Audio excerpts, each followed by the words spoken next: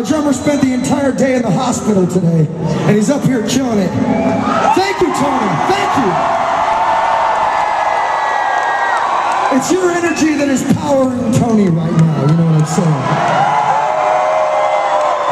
But for y'all that don't know, we have a new album out. It's called Time for Annihilation. We just left the major labels, you know what I'm saying? And we went independent. This is another brand new song. This one is called Burn. Kick it off.